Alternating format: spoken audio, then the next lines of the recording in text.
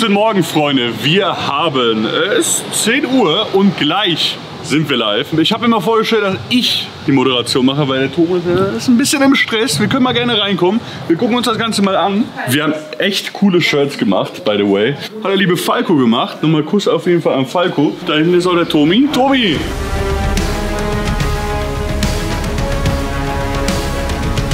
Also wir haben auch jetzt beide Designs direkt. Wir haben Zobox Grau und Zobox Weiß. Einmal mit Schrift Und einmal ohne. und einmal ohne Schrift. Ja, also wir haben äh, gut gepowert. Ich war jetzt noch ein paar Wochen vorher nicht da. Also wir haben jetzt echt innerhalb von zwei Tagen das hier so ein bisschen Ja. aufgerockt, das Ganze. Wir haben ein schönes Streaming-Setup jetzt gebaut hier, auch für die Workshops, dass die Leute nachher hier sitzen können. Ich bin ein bisschen aufgeregt, bin gespannt, wie es wird. Und hoffe, dass wir einfach eine gute Zeit hier haben werden. So, ich muss noch ein paar Sachen machen. Ja, ich gehe weiter, ich gehe weiter, ich erzähle ein bisschen weiter. Hier haben wir ein kleines Setup, wir haben zwei Kameras. Alle Sachen, die jetzt auch hier im Stream passiert sind, haben wir aufgenommen und die werden auch auf YouTube kommen. Da haben wir auch schon den Rolli.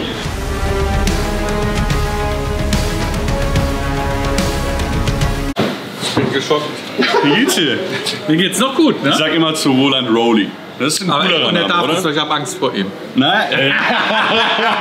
Roland, was hast du dir vorgestellt bei deinem Aquascape? Also, ich werde hier einen Aquascaper, so eine Mischung Biotop, Aquascaping. Es geht mir eigentlich jetzt nicht, das 595 Escape zu bauen, sondern ich will ein bisschen was drum erzählen. Wie komme ich zur Inspiration dazu? Ich will einfach anregen, was man machen kann, ähm, um halt ein schönes Escape zu machen, wo die Ideen herkommen, dass man auch langfristig, ich meine, du kaufst es einmal, das muss irgendwie so interessant sein, dass es sich auch in fünf Jahren noch interessiert, sag ich mal, im 100%, ja. Idealfall. Ich habe schon gesagt, ich setze viel auf Roland. Ne? Ich bin Fan von Roland. Ich sag, Roland muss was Geiles scheppern. Ne? Mach nicht so viel Druck hier.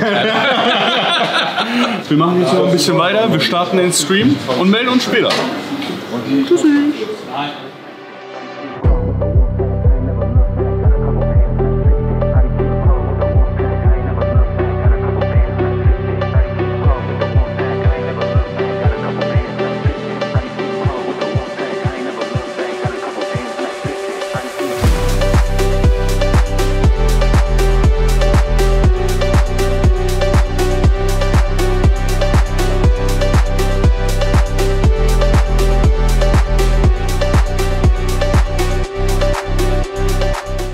man mich jetzt schon? Nein.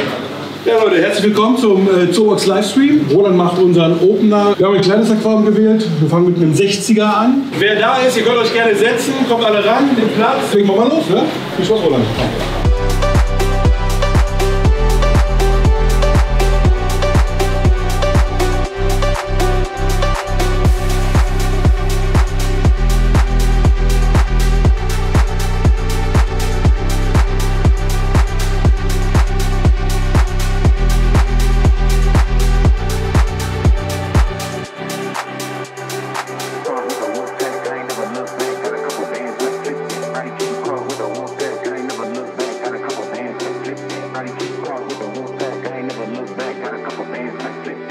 Gestern war Adam und Dave nochmal hier am Abend. Dann hat mir Dave eine Zeichnung gezeigt. This is the scape I wanted during the workshop on tomorrow. Yeah. This is combined of wood and also some uh, stone. So I make it more natural, and then the, you can see the theme with also a dragon, like Yeah. crawling over Yeah. the mountain. Normally, I want to find um, some chances to show the uh, Eastern culture because uh, dragon is a kind of uh, lucky symbol, not a real uh, make a dragon, but the feel like a dragon. This is a kind of uh, rough drawing. Ah, okay. There's no connection with So here, just try and do Because try, try and error, I, my method of try and error is just drawing. This is more finished, and I draw it. After that, I feel comfortable. Then that represents I can make it real. If I have uh, drawings have some problem, then I will leave it for a days, and after that, I open the sketchbook, and then I will find the solution after the day after. And some drawings cannot be succeeded. Yeah. Maybe after after years. Then Really? yeah. After that, I will forgive forgive it, and then after years I bring back the sketches, and then ah, I find a solution and then finish the drawing. So, lieber Screen, äh, liebe Gäste, es geht weiter. Zweiter Workshop, Volker von Dennerle ist gerade da. Äh, wir werden jetzt ein 3 cm Nano-Tank einrichten. Habt viel Spaß, ähm, ihr auch alle. Und ähm, ja, dann let's go.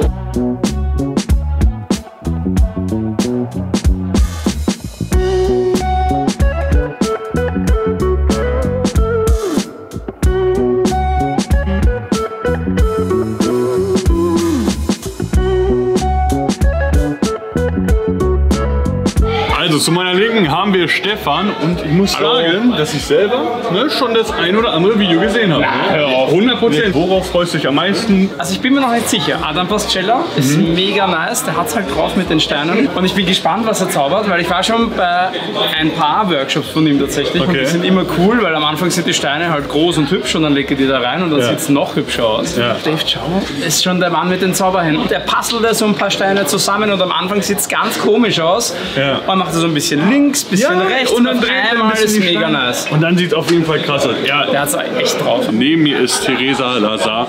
Auch ein Highlight. Worauf freust du dich hier am meisten am, für dieses Event? Worauf hast du am meisten Bock? Мене цікавить е, взагалі шоу.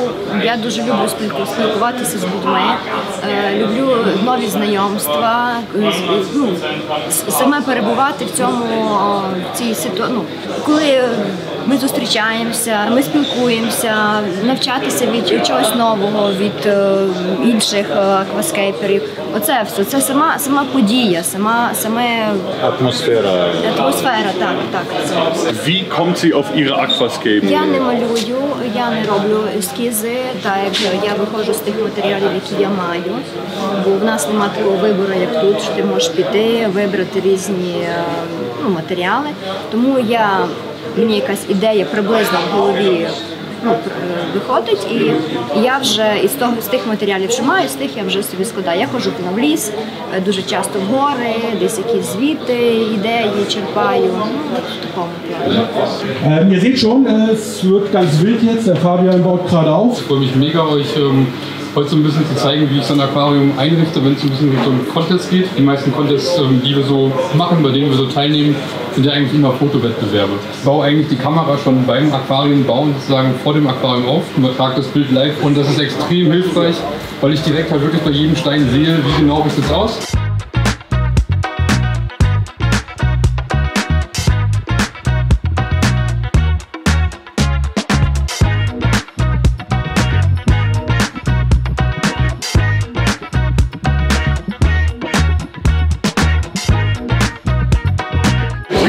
Bisschen zurück und schauen uns das Aquarium an. Vielleicht willst du ja auch ein, zwei Worte dazu sagen. Man muss auch sagen, dass du noch nicht ganz fertig geworden bist in den drei Stunden leider. Ja, war auch ein bisschen von auszugehen. Es war natürlich sehr viel für diese kurze Zeit. Ich habe noch nicht so viele Live-Dinge gesehen, wo jemand was für Richtung Wettbewerb gescaped hat. Ich fand das eine coole Herausforderung. Ich finde es auf jeden Fall auch ein sehr cooles Ergebnis.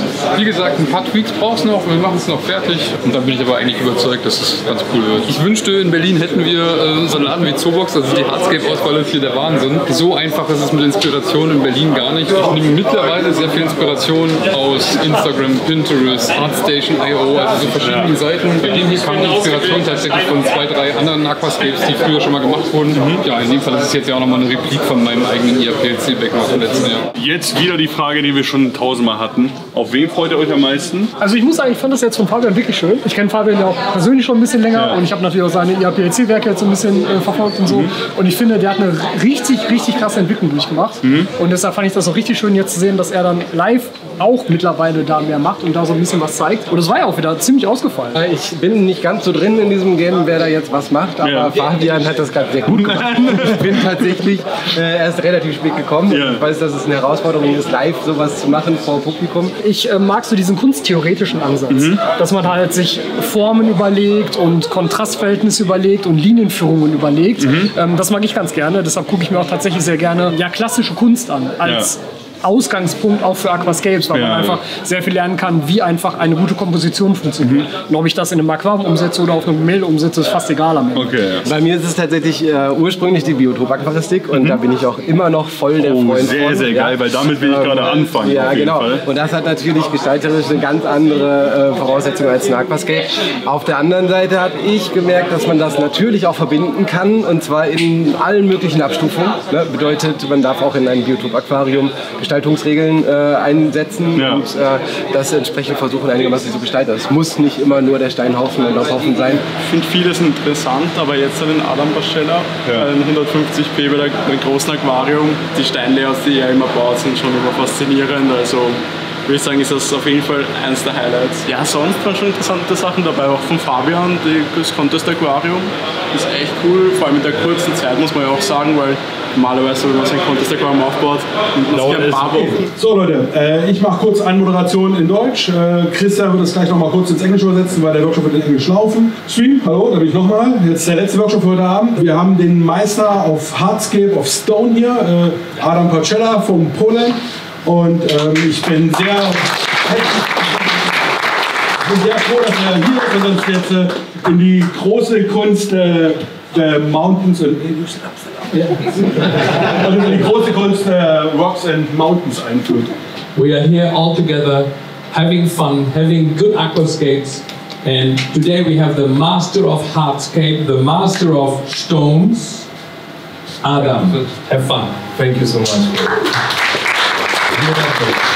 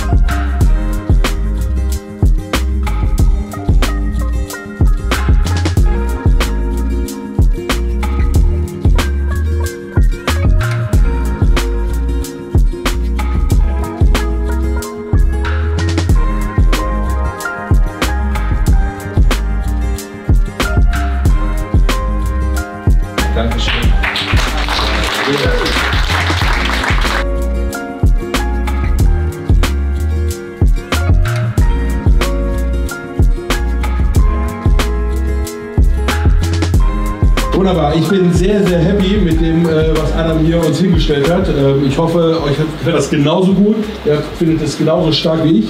Äh, es wird hier bleiben, es wird trocken bleiben. Es wird einfach mein Hardscape werden. Ich freue mich da total drüber. Ja, wir machen morgen weiter. 10 Uhr geht's weiter. Wer Bock hat, ist dabei und dann vielen Dank, dass ihr da wart. Bye bye. So, Freunde, wir sind am Ende. Wir haben es geschafft, der erste Tag. Ich hoffe, euch hat es gefallen. Ich bin super, super happy, dass Nico so viel Zeit, Energie und Kraft hier reingestellt hat, mich hier zu unterstützen. Es hat echt gut geklappt. Ich bin total, die Leute sind total happy. Äh, unser Livestream hat sehr gut funktioniert. Ich hoffe, dass die Leute das auch wirklich feiern, dass euch dieses Video jetzt auch gefällt. Äh, ich danke auch Johnny, dem Mann, äh, der gerade die Kamera ganz wackelig hält. Auch Macher, muss ich sagen. Kaputt, Alter. Ich kann das Hat- Bitte. Johnny, der Arme, ist mir die ganze Zeit im Hinterherrennen, wenn, ich am Drehen, wenn wir am Drehen waren, die ganze Zeit so nach oben und er sagt so, boah, bei Thomas ist das irgendwie chilliger. Da, da, kann ich, größer. da kann ich einfach irgendwie so mich irgendwie abschützen, aber bei Nico ist das immer irgendwie so schwer. Ja. Nee, Leute. Cool. Danke, dass ihr dabei wart. Äh, liken, kommentieren, abonnieren, habe ich gelernt, soll ich das mal sagen. Teilen, abonnieren. Und ansonsten, wenn ihr mehr Bock habt auf solche Livestreams, auf solche Events, Lasst uns uns gerne mit einem Daumen hoch oder mit einem netten Kommentar. Ansonsten wünschen wir euch Viel Spaß beim nächsten Video.